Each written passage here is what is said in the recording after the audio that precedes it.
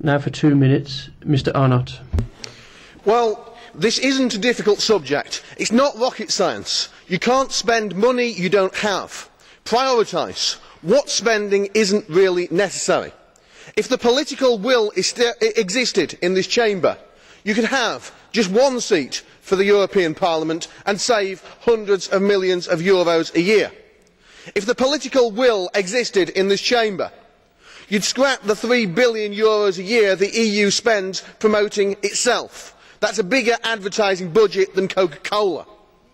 if the political will existed in this place you could scrap many of the luxuries that we enjoy as meps and take a lead in showing that economy begins at home. but just three hours ago this very chamber voted in favour of parliamentary delegations and junkets the answer is not to go back cap in hand to national governments and to ask them to fleece taxpayers for even more money. the answer is to put your own house in order.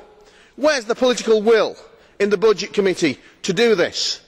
we do not even have pre set failure criteria for eu funded projects to know whether they have achieved what they promised. no one takes responsibility.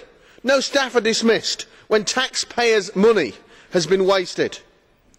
ultimately this place could remember that eu money really belongs to the taxpayers of each member state and some in this chamber astonishingly have used the misspending of eu money as an excuse to call for eu taxation. well we will soon know whether the european parliament has the guts to take the decisions necessary to bring this back under control. And isn't it not amazing how empty this chamber is today as we discuss such an important issue. where is the political will? we do not need more of the same we do need some tough decisions.